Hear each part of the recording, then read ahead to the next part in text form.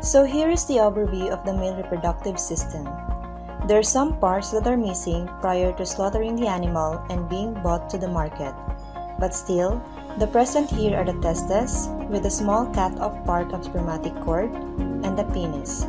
The diagram provided will be used as a guide for the other missing parts such as the ductus deferens and the accessory glands.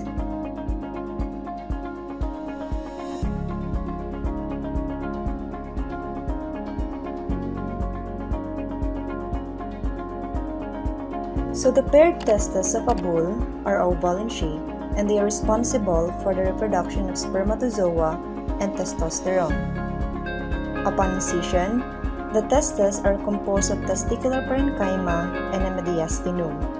The parenchyma consists of the interstitial Leydig cells that produce the testosterone, seminiferous tubules, the site of spermatogenesis, the lymphatic, and the blood vessels. A cutaneous sac here protects and supports the testes and also for the temperature regulation since the scrotal skin is heavily populated with sweat glands.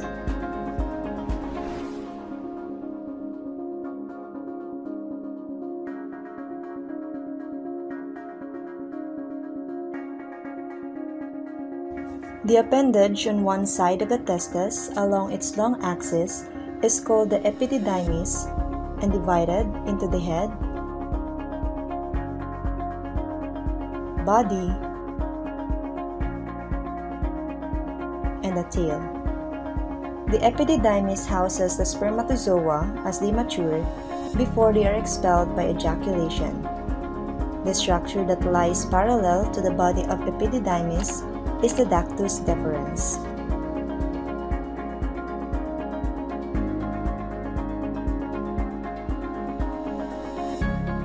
Another important structure is the spermatic cord and it is highly developed in bulls, but as you can see here, it was cut off. The function of spermatic cord is to suspend each individual testis within the scrotum. Their primary muscle supporting the testis and coursing the spermatic cord is the cremaster muscle. We have here the figure, which I've said earlier to be used in explaining the missing salient parts.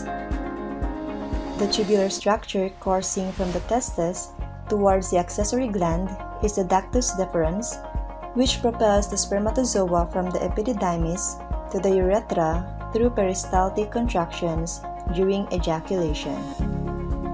Next are the accessory glands present in both reproductive system.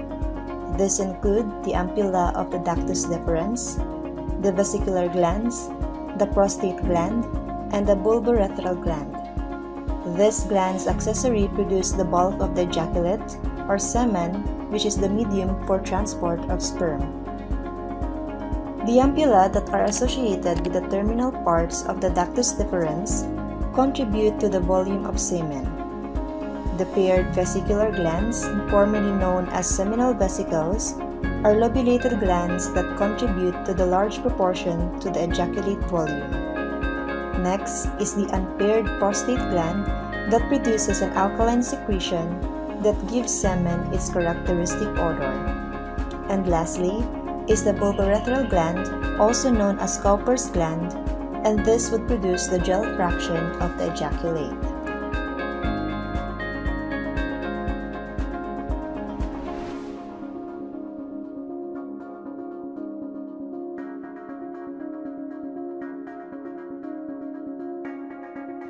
Going back to our specimen right here, the male organ of copulation, the penis, may be divided into three general areas. The glans, or the free extremity, the main portion or the body, and the two crura or roots that attach to the ischial arch of the pelvis. As you can see here, there is an S-shaped configuration along the shaft of the penis and supported by the retractor penis muscle. The sigmoid flexure allows the penis to be retracted inside the body until the reaction occurs. The prepuce, on the other hand, is an invaginated fold of skin surrounding the free extremity of the penis.